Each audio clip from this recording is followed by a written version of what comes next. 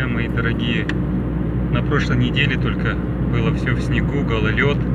Сейчас у нас хорошо потеплело прям. И снега нет, дорога чистая. Плюсовая температура. Это Куюк, перевал в Джамбульской области. Мы едем, я еду в Чимкент за товаром.